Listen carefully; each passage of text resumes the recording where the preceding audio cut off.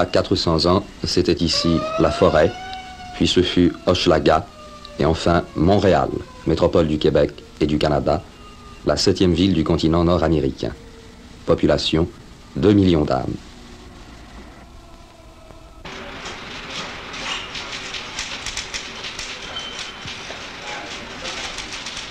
Would you give me local 1665, miss? Please.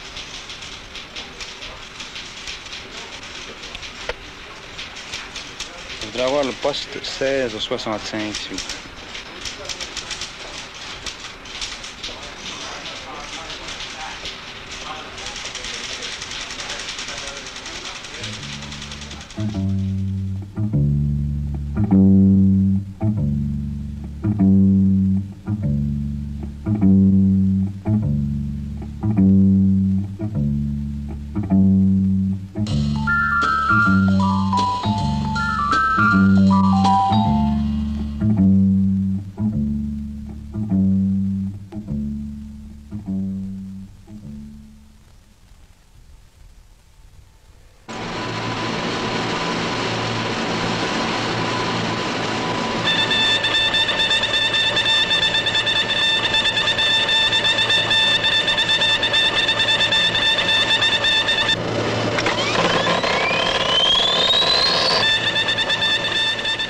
Québec est le pays qui doit prendre les bouchées doubles. Aux États-Unis, une personne sur trois a reçu une éducation du niveau secondaire. Au Québec, cette moyenne tombe à 1 sur 5. À la fin de juin 1966, la main-d'œuvre du Québec se chiffrait à 2 millions d'hommes. De 1960 à 1965, le revenu personnel brut a augmenté de 29%. L'indice du coût de la vie est passé de 101 à 110. Population 5 657 000, dont 80,6% sont d'origine française.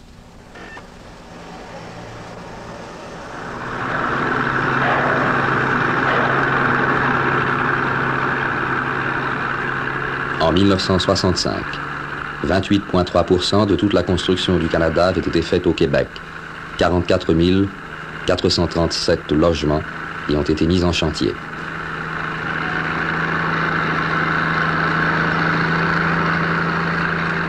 Il y a 90 ans, 75% de la population vivait dans les campagnes. Aujourd'hui, la proportion est inversée.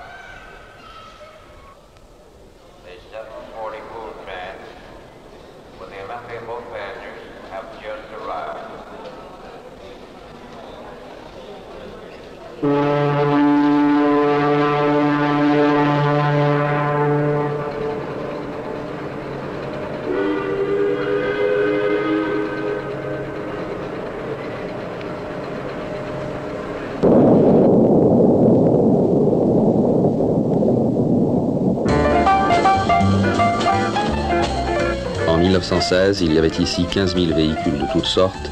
Il y en a maintenant un million et demi qui sillonnent les 35 000 milles de routes et d'autoroutes du Québec. Le Québec est entré d'un bond dans l'ère industrielle.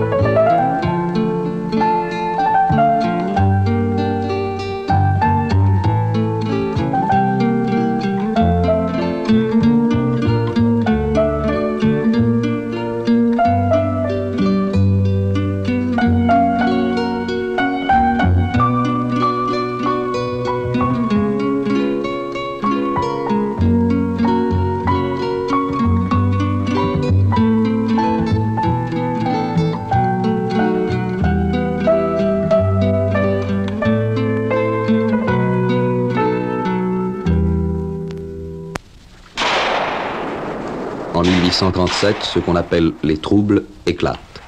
Les fils de la liberté se battent contre les membres du Doric Club et l'armée anglaise. Survivre aura toujours été difficile et encore aujourd'hui, les Français d'Amérique, groupés dans le Québec, sont à la recherche d'un équilibre à trouver entre leurs aspirations et le fédéralisme canadien. Il y a 200 ans, ce peuple conquis n'avait plus pour lui que sa volonté de survivre. C'est de lutte en lutte qu'il a pu se perpétuer.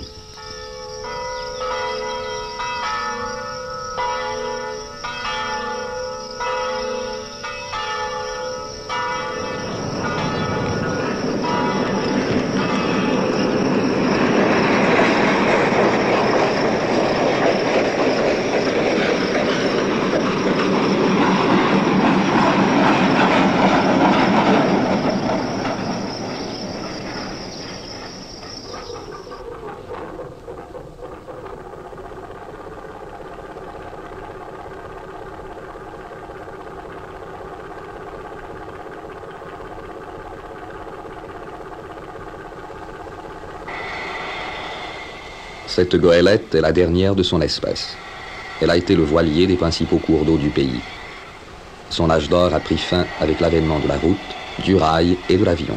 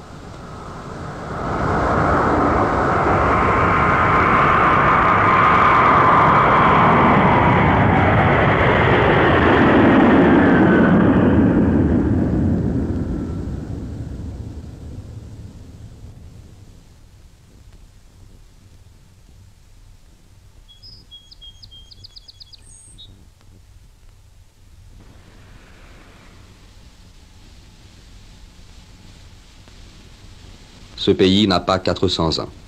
6 millions de Québécois l'habitent et ils sont en très grande majorité les Français d'Amérique, entourés de 215 millions d'anglophones sur le reste du continent.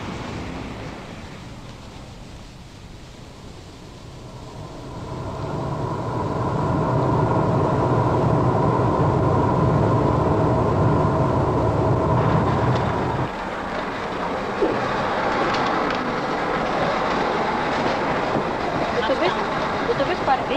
Non, notre autobus de Montréal. Ah, on peut-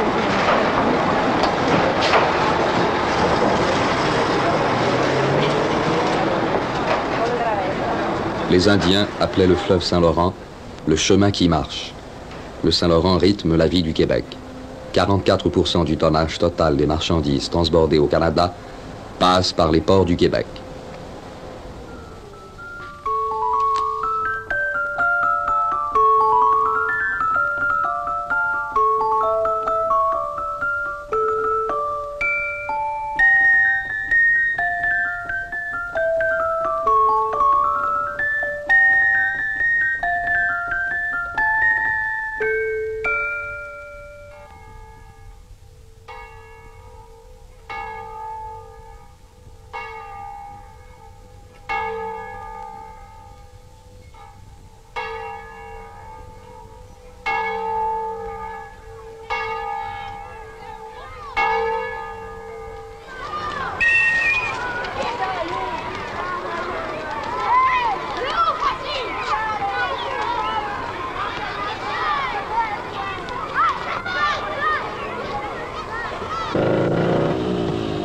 moitié de la population du Québec a moins de 25 ans.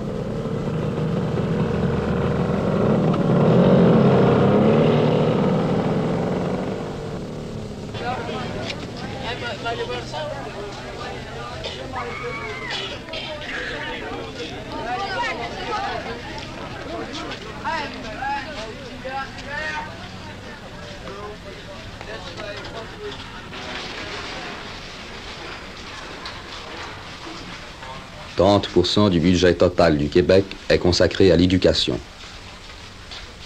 En 1966, il y a 1 670 000 jeunes dans les 8 211 maisons d'enseignement du Québec. Évidemment, vous pouvez choisir un point qui va être plus long que l'autre, mais vous allez obtenir exactement la même réponse. Si vous trouvez que, par exemple, si vous avez fait votre travail à partir du point A, vous trouvez que c'est à 4 pieds du point A, ben c'est dans la même place qu'à 6 pieds du point B. Même chose.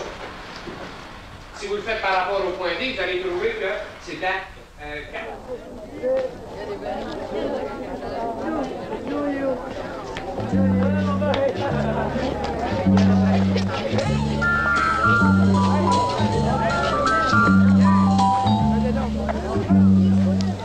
La centralisation scolaire, l'accessibilité universelle à l'éducation, tels sont les grands objectifs de l'État. «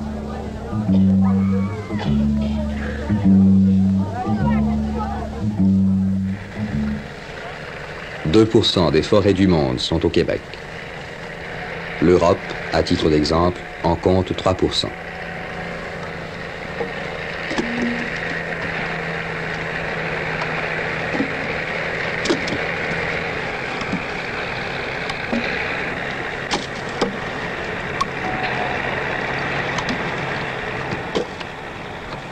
Avec seulement 35% de son territoire exploité, le Québec fournit au monde un huitième du marché des pâtes et papiers.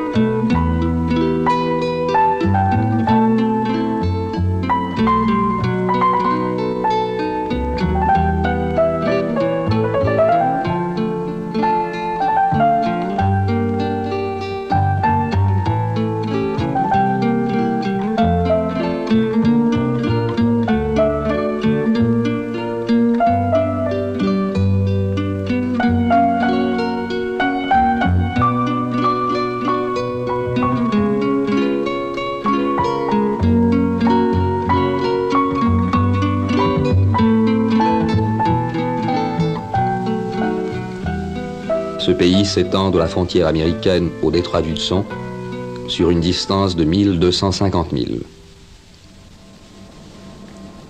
594 860 000 carrés ou encore 1 540 022 km carrés, dont un dixième d'eau douce. Deux fois et demi la France, cinq fois l'Italie, six fois la Grande-Bretagne.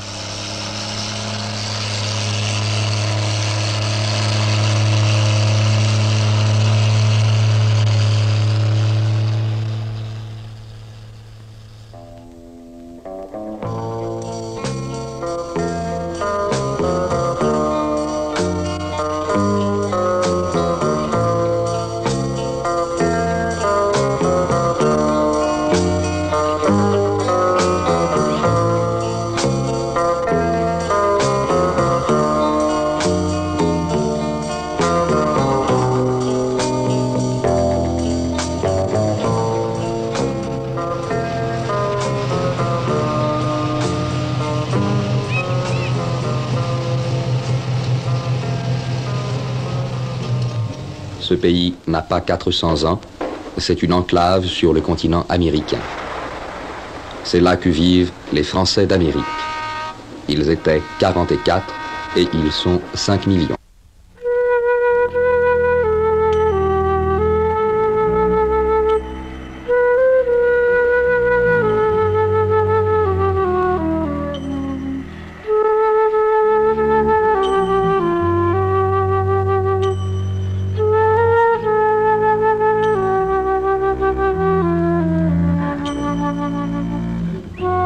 Sommes à 400 000 au nord de Montréal.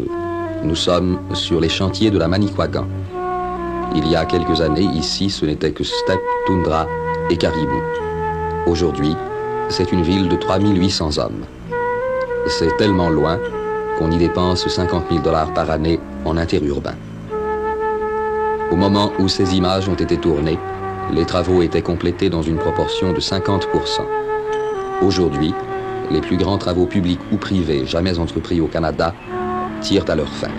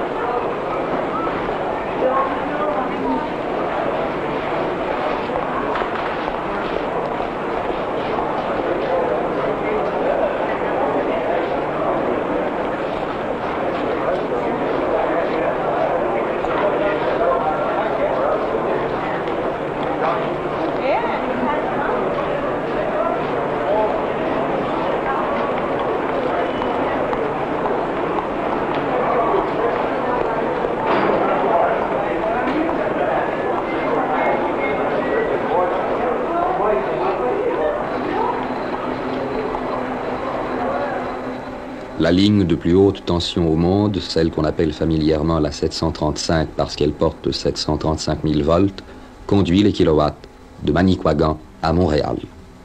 Le Québec est le plus grand producteur d'électricité au monde per capita.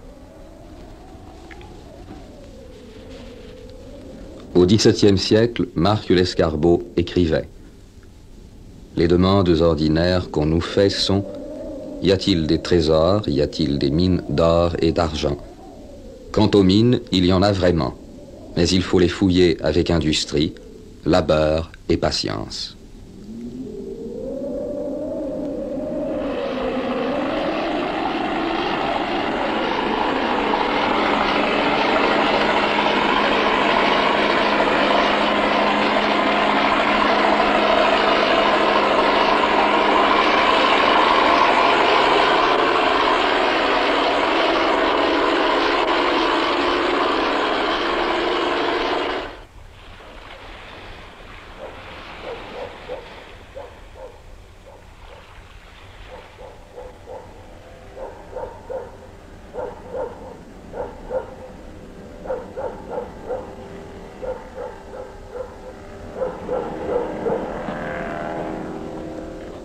La production minérale du Québec est passée de 2 millions à près de 700 millions de dollars en 60 ans.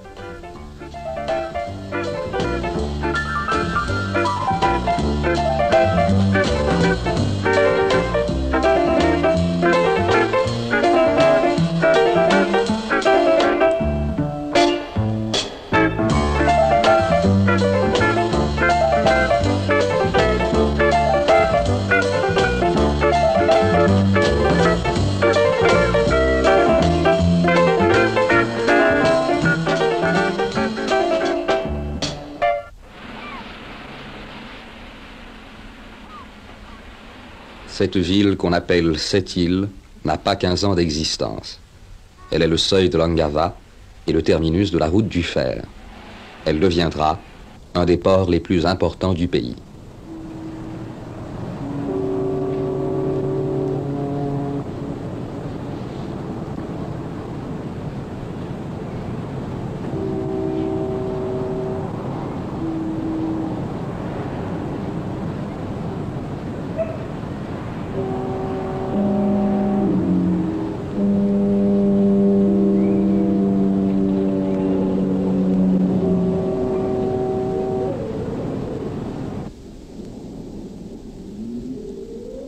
Un cinquième du territoire québécois est habité. Un dixième de ce territoire est constitué de lacs, de rivières et de fleuves. Au Québec, il y a 5000 ponts.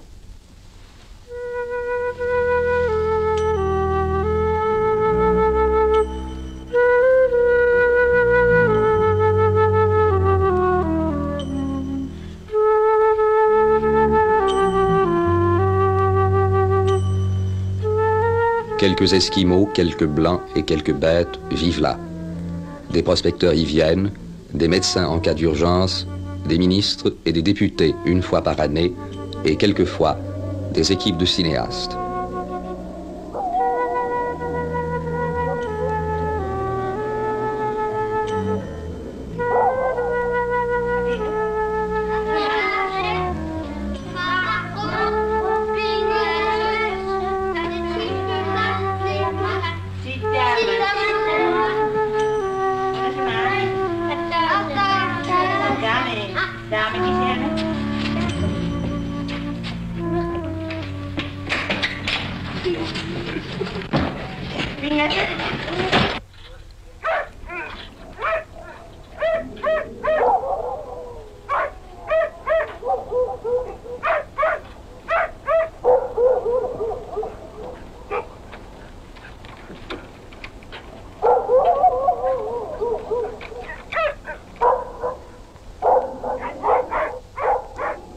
Sur les rives de la rivière Coxoac, gelée six mois par année. Fort Chimo, la ville la plus au nord du Québec. 4 degrés avant la fin du pays. Le plus important des 13 postes de la direction générale du Nouveau-Québec.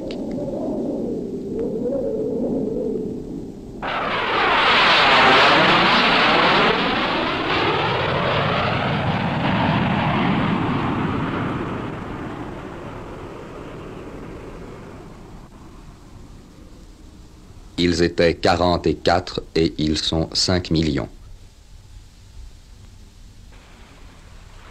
Samuel Le Champlain a écrit en 1608 Je cherchais le lieu propre pour notre habitation, et je n'en pus trouver de plus commode, ni de mieux situé que la pointe de Québec, ainsi appelée des sauvages. C'était il y a trois siècles et demi. On entre dans cette ville avec recueillement, car c'est ici que l'Amérique française a vu le jour. Québec, c'est la capitale de l'État du Québec. On l'appelle la vieille capitale.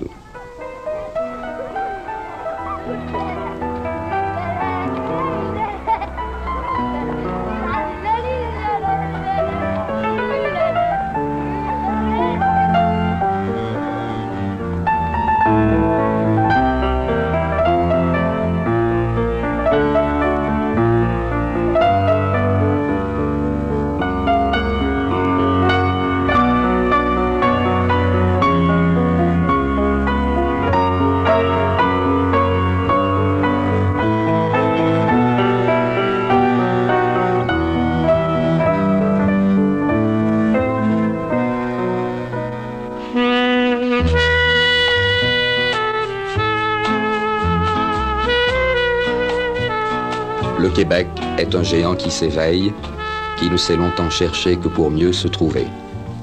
Barrages hydroélectriques, autoroutes, nouvelles écoles, industrialisation massive, exploration de la taïga et surtout, toute la fierté d'un peuple constitue l'équipement du Québec pour se mesurer à la deuxième moitié du XXe siècle.